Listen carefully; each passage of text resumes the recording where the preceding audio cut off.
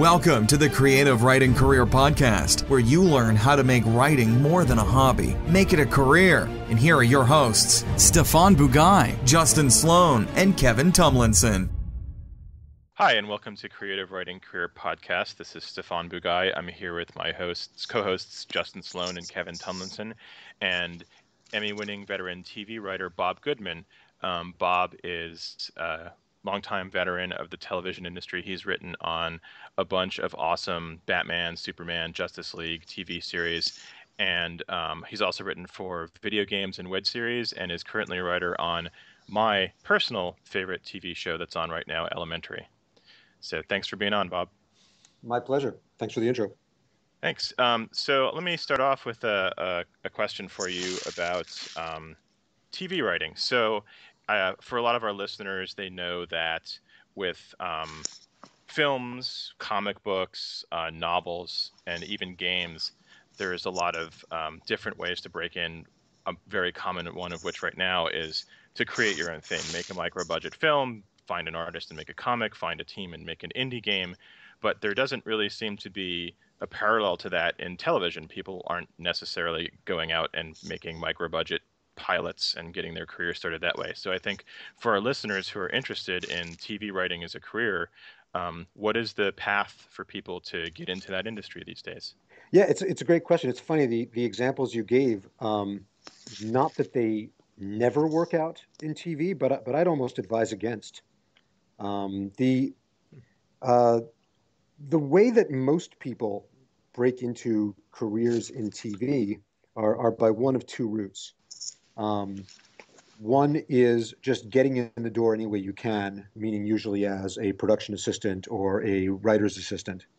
Um, every TV show in LA has a, uh, a writer's room with, uh, you know, somewhere in the range of, you know, eight to a dozen writers uh, who gather every day uh, to uh, either work literally in a room together all day or in their independent offices. A place like that has a support staff. There's going to be assistants whose jobs uh, are just about supporting those writers, um, uh, an assistant directly to the showrunner.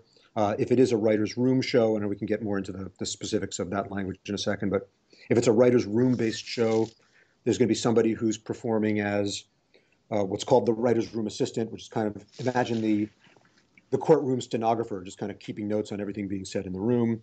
Um, there's script coordinators whose job are, are involve um, uh, formatting scripts, distributing them to uh, to the individual departments involved in production, um, and and all of these jobs.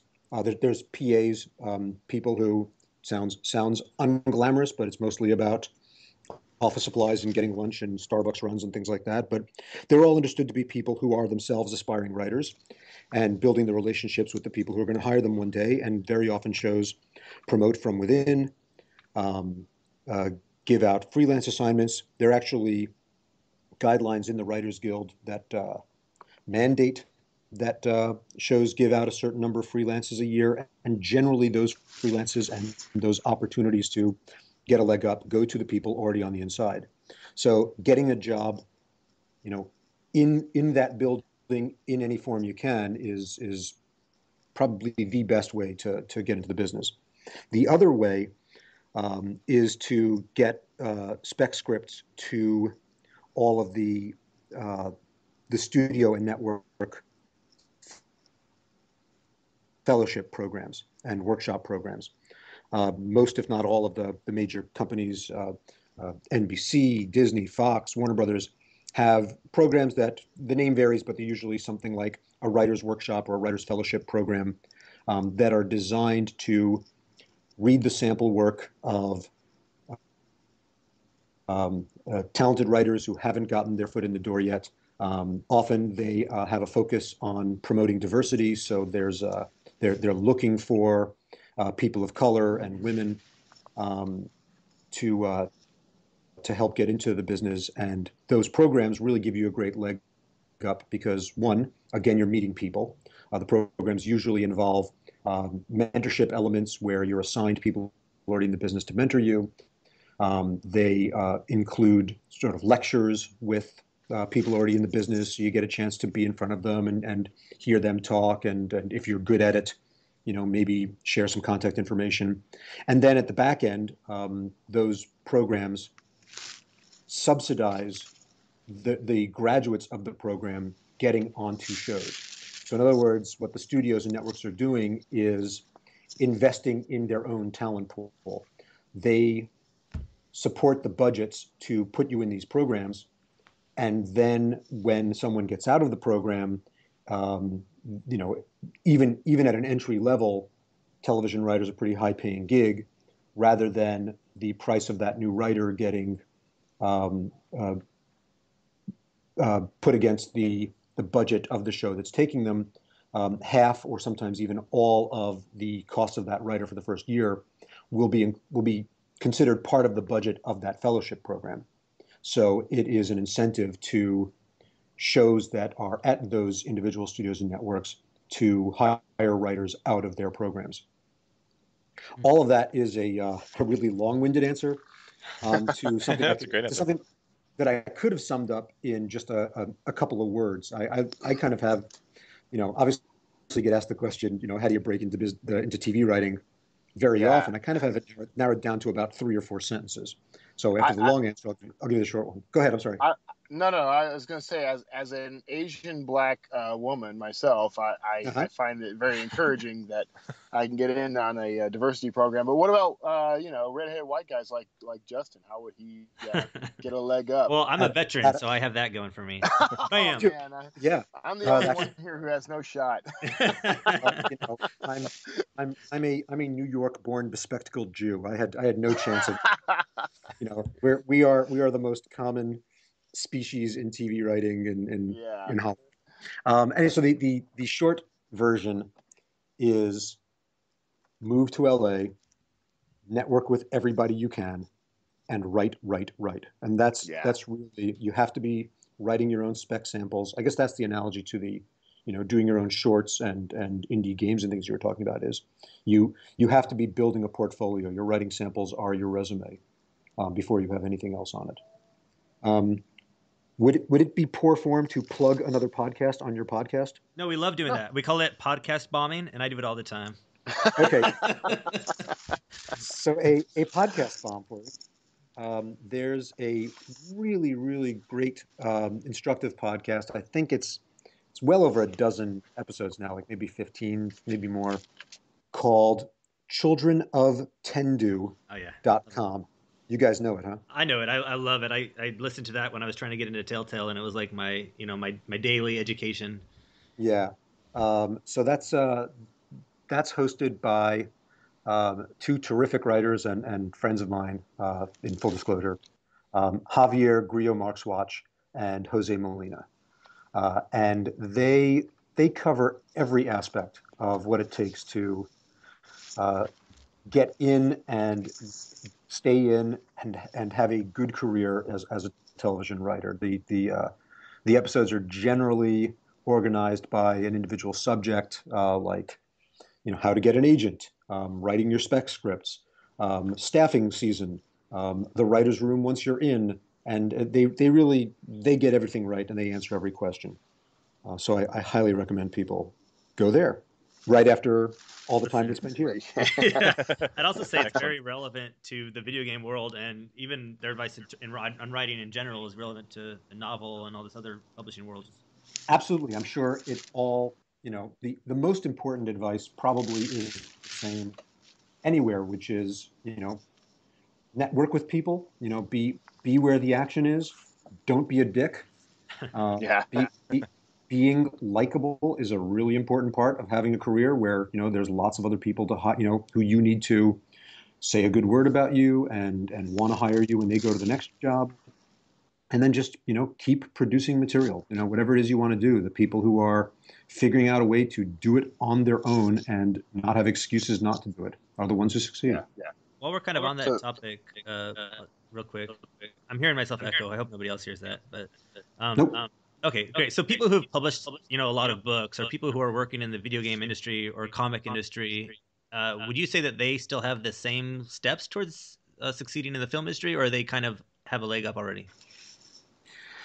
Well, I mean, there's a there's a great advantage to already having material to show, um, but I I don't know if someone, you know, who who shows up at the uh, at the doorstep of you know that first agent or that first showrunner that their stuff gets in front of, um, if they should expect to have a leg up on the person who's been, you know, writing spec scripts of the uh, in the format that they're looking for and um, original pilots, TV pilots are uh, are really valued these days. That that kind of ebbs and flows whether they whether people really want to see samples of your work um, that match you know like s- samples of existing TV shows or your your own voice in your own pilot.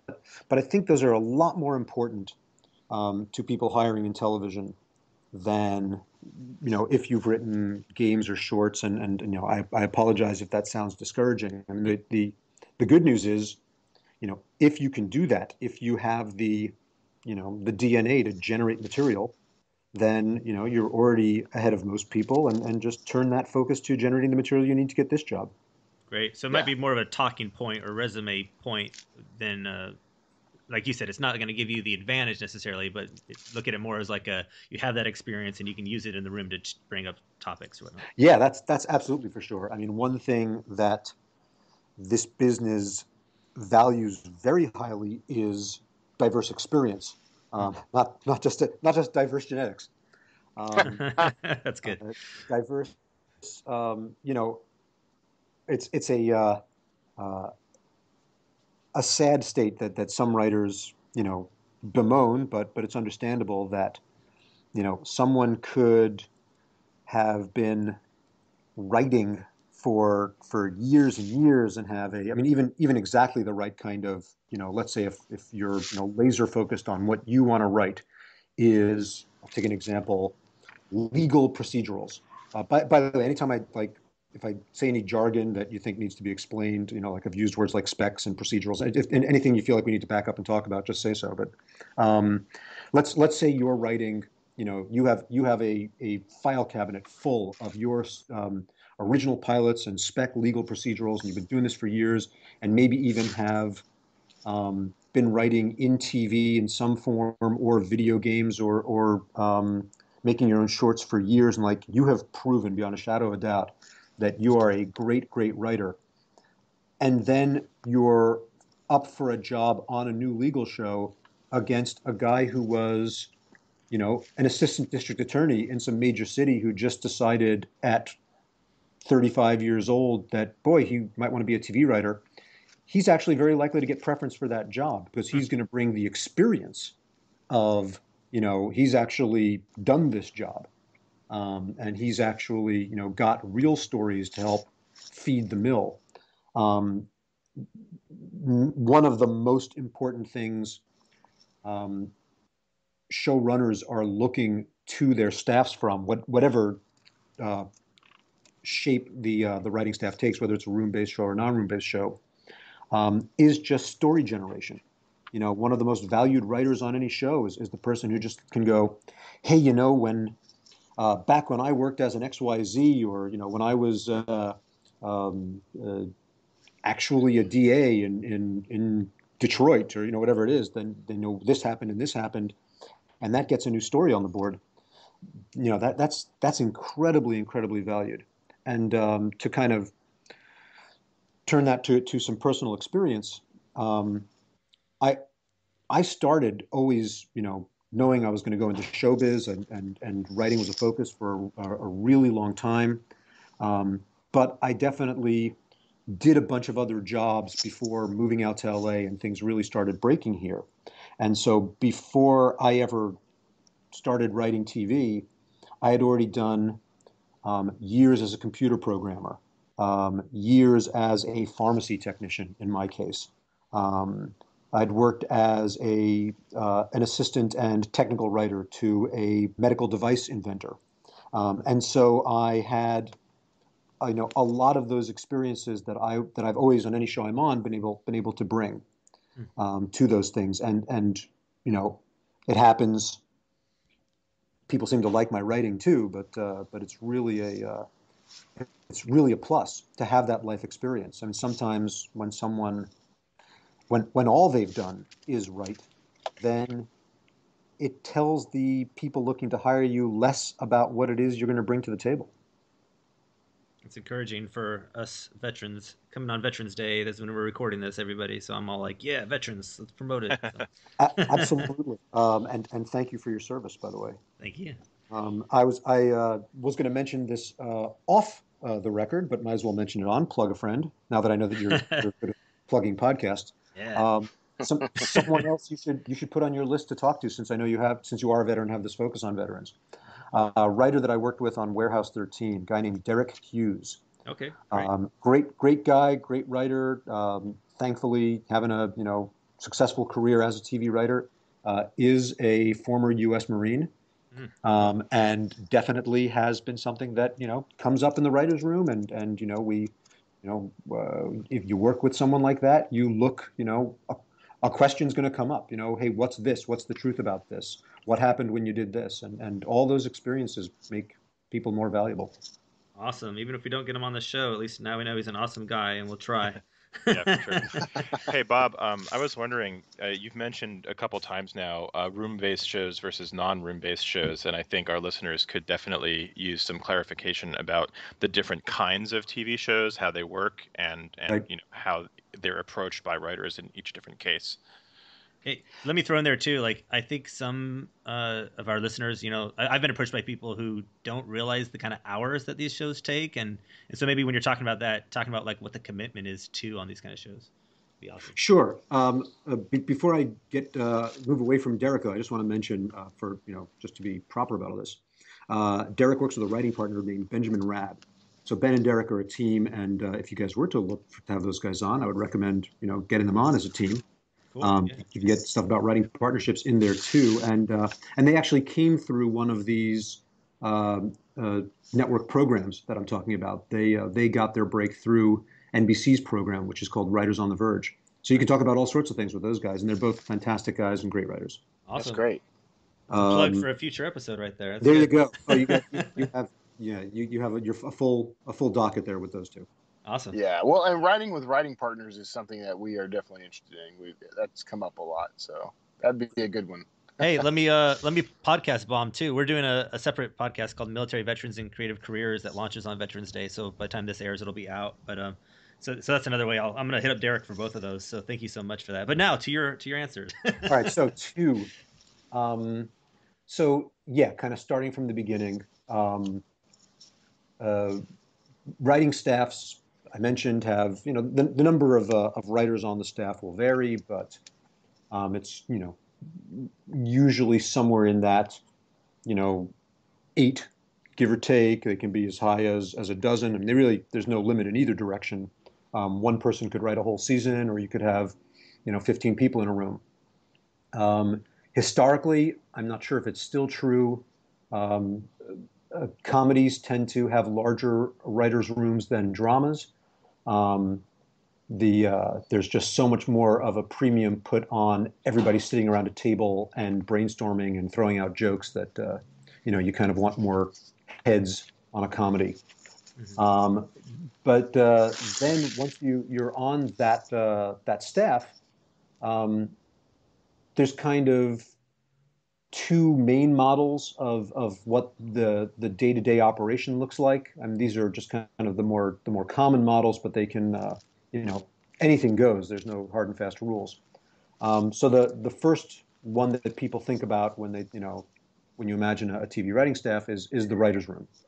Um, what that looks like is um, and Warehouse 13 was was a show like this. So speaking from from my experience on that show. Um, uh, you've got your your 10 dozen writers who you know have an actual time of day that you're expected to be in the office and you've got an individual office. Um, but you spend most of your day i mean often eight ten hours a day um, uh, all sitting around uh, a giant conference table. You know it looks looks like a conference room like any other business would have only kind of the um, the focal point of that room uh, uh is the fact that the walls, at, at, least one long wall, and often all the walls that are available, are covered with whiteboards, with dry erase boards. Um, and as a group, uh, everyone will get together and sit in that room all day, day in, day out, and you know, knock down those stories one by one, um, break the uh, you know the the beat by beat workings of, of each story, discuss the longer arcs, um, discuss you know what you're you know when you're going to reveal this detail about who this character's father was, when you're going to you know finally pay off the will they or won't they and have the two characters sleep together, what your you know who your big bad, which is our term for the the bad guy of the season is, you know all those kind of questions. Um, and generally speaking, um, very early in the process of a given episode, um, if not determined from the very beginning of the season. Um, you'll have a sense of who will ultimately be assigned to be the writer on this particular episode number. If you're on, you know, episode six of the season, we're breaking them all together, but we all know that, you know, Dave is the uh, is going to be the the writer on episode six. So you know, he or she, if Dave happens to be a woman, um, is uh, is paying you know extra close attention uh, to to all the the stuff that's being broken and and hopefully you know infusing a lot of his or herself into that story and kind of driving it. Um, there's like I mentioned before, the writers' room assistant keeping notes, uh, you know, uh, uh, typing up whatever it is we put on the board. And then once the uh, the group as a whole, and more importantly, the showrunner, who's always the captain of this ship, whatever else the dynamics are among the rest of the group. Um, once everyone's happy with how that story looks, that individual writer will take the stuff that's been put up on, on the big whiteboards and go off and write, write an outline of that. That outline is then vetted by whoever needs to vet it, the showrunner. Um, some shows will table that outline, some won't, which means you know that everybody else in the group gets to, you know, give some feedback, give some notes, or sometimes that you know some shows don't do that step. Then it goes to studio, goes to network. Once everybody's signed off on the outline uh, being happy, um, that individual writer is sent off to script. And for that period of time, for however long it takes to write an outline and the script, that writer isn't part of the writer's room, but the rest of the writers are all in the writer's room together, hammering out the next episode and the next episode. So it's kind of this rotation process of everyone being in the room except whoever it is that's at bat at the time. Um, non writers' room shows uh, kind of operate more independent study. Um, everything is more uh, relationships between the individual writers on the staff and the showrunner. Um, it happens I've been on more shows shaped like this. The uh, all the animation stuff that I did was handled as as non-room. Um, hmm. uh, this show, Elementary, is a non-room show. Um, shows like that um, each person is spending most of their time in their own office coming up with stories. You know, here's the murder mystery Sherlock and Joan have to solve this week. Um, here's, um, you know, the latest thing Joker does when he escapes from Arkham that Batman has to stop. Um, and those are then um, pitched either in writing or verbally directly from that writer to that showrunner. Um, and the showrunner will, you know, sort of working in serial instead of in parallel, you know, work with an individual writer until they get that story hammered out and then send that writer off to outline and script, then go on to the next writer and hammer that one out. And um, so it's it's much less team effort. The uh, the whole group stays involved in everything. There's always the opportunity for everybody to give feedback and uh, we will sometimes generate what we call mini rooms, where, okay, uh, two or three people on their own, either when they're working on a story, might get together, or when the showrunner has anointed an individual in their story as the next one up, might gather a few brains together to, to break this one. So, like, the, the break in the room with the whiteboards looks very similar, but with a lot fewer people. Um, and then, you know, all goes well by the end of the season, either one of those models you've churned out the whole season's worth of stories. In general, uh, one, one uh, little inside detail about these the soapier shows, the more character based shows, the shows that have more long, intricate arcs, uh, operate better with, uh, with the room. Um, they're, they're you know virtually impossible to do in a non-room setting because everybody obviously needs to know what everybody else is doing. Um, the the shows that tend to have more luck in a non-room setting are the procedural shows, the the, the murder mysteries, uh, the superhero shows, the shows where there is you know a story you are telling in a closed-ended way, you know, a closed-ended A plot that that each week. Um, and then if there are serial elements, it's the B plot, and those things can be, you know, woven into the uh, the individual episodes after you've uh, you've figured out what the A plot is this week. Awesome. Great. So if That's... somebody was looking to get on a show that was kind of more of a non-room show, like you said, those kind of shows are the ones they should look out for. But is there any way to to kind of gauge that aside from just the kind of show it is? Well, if you're if you're asking, you know, uh, would uh, actually I'm, I'm going to answer a question you didn't ask first. Okay. Uh, which, which, which, which is, you know, would a writer do that? Right. Would a writer, yeah. you know, look look at the world and say, hey, I really want to be on room based shows, or I really want to be on non room based shows. Um, and while um, sure there is some you know ability to you know gauge which show is with and there's definitely um, you know intel out there i mean if you're if you're talking about a an existing show um, you know uh, i you know I, I can find out with a phone call you know which which shows are room based shows which shows are non room based shows obviously you can tell from the nature of the show um, and when someone is you know, uh, pretty established in their career. Um, you know, has done both, kind of knows what they like and what they don't like. Um, they certainly might start to cherry pick their jobs. Mm-hmm. Um, you know, go ah, you know, I've been, I've been on non-room shows, and and the room is really what gets my juices flowing and why I'm doing this. I mean, I, I personally would would throw in that the room is my favorite part of being a TV writer. Mm. Um, and it happens I'm you know I'm on a non-room show now and I'm loving the hell out of it. Um, but uh, uh, no, um, uh, now to, to, to back up to somebody starting out, you you one wouldn't have that information as available. Mm-hmm. Um, and and the reason for that is generally starting writers are, are more likely to get their breaks on shows that are just starting up. Um, that's the most likely show for a, for a network to put you on. Mm-hmm. Um, uh, and two, it'd be really ill-advised to, you know, for a beggar to be a chooser uh, right. at that point. You know, also you've never done it, so go and see which one you like. Yeah, so, you might prefer one over the other. Yeah, you might turn, might turn out to love it. Yeah. Yeah. Ken, I think we're coming up to yeah. our close, um, but we maybe we each have one closer question. On a, I, I heard a couple yeah. of people's voices jump in.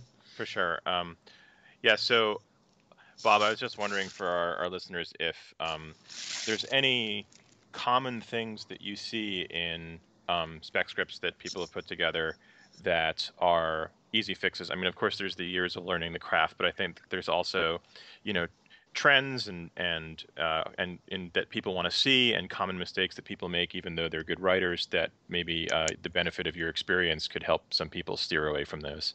Sure, that, that's a that's a great question um, that, that you don't hear asked very often. The, the the the short and and easy answers uh, are one format um, uh, and two voice. Um, and you know the the the headline over both those is the the purpose of a spec script, and this is this is separate from uh, doing your own original pilot. But if you are you know looking out there at the world and saying Elementary is the is the show I love, um, or that's the kind of show I love, um, and you know I want to be in uh, you know strong character murder mystery procedurals and so you've picked elementary as the kind of show that you want to write a spec of your job immediately becomes learn that show inside and out and emulate it as closely as possible um, i think starting writers uh, deeply undervalue the importance of imitation in, in, in the job and, and or i'm actually i'm going to stop i won't use the word imitation but emulation um, that uh, the way my showrunner Rob Doherty puts it here is your job as a writer is to trick me into thinking I wrote it. Uh, ah, I like it. Yeah, it's, it's, a great way of putting it that I'd never heard you said. Um, you, when, when someone's reading your spec, they're looking to see, um, are you going to make my job easier? Um, your job is not to you know, show them how much cleverer than the show you are, or this like brilliant new twist on the show, or place the show's never gone before that you can bring to it. You want to do it's it's an interesting line you have to walk. You have to do a spec that is, you know, something the show hasn't done before, but that the show would do. That is, you know, in the wheelhouse yeah. of the show, not so far out there. So, but but so not only are you looking to match like the voice of the characters uh, and and you know get the story structure and what makes their out, act outs run and you know how many beats per act and sort of get all that right. You even want to get the punctuation right and the turns of phrase right and you know whether this showrunner is a stickler for one space after the period or two you know like you want to drill so deep down into everything this show is doing on the page that when that showrunner reads that script it's like i didn't even notice i wasn't reading one of my own scripts so that, that there's your answer. That's awesome. That's awesome. That's I think we are out of time, guys. Uh, Bob, thank you so much for joining us. I, I don't know if you have any like kind of last words of wisdom you want to leave us with, or ways people can find your find your work. Of course, just Google your shows and IMDb. But uh, I'm, I'm I'm pretty Googleable. um, yeah, one one last bit of advice I'd give anybody at any point in their careers, beginning, middle, end uh, is is always keep your eye on the long picture. I think people worry too much about, you know, this this script being the one that is, you know, my magnum opus. This staffing year being the one where I make my break. Um, when they're in the job, this, you know, line of dialogue that I'm fighting for, and just sort of you you come to the right answer of how to behave in a career every time you think about just you know, focusing on the long game of the career, focusing on being in relationships with these people for years to come, keeping your ego out of it, um, and and you know, just being a good guy. Awesome advice. Hard for yeah, some of us so to follow. It goes back to what you said earlier. I think we can sum it up with "Don't be a dick" and don't "Right, be a dick. right, right." Yeah, yeah, that's it. Great. Thank we'll you so much, Bob. This has been really fantastic. Yeah, thank you, listener. All right, take care, guys. This has been the Creative Writing Career Podcast. Thanks so much for listening to the Creative Writing Career Podcast with your hosts, Stefan Bugaj, Justin Sloan, and Kevin Tumlinson. We'll catch you next time.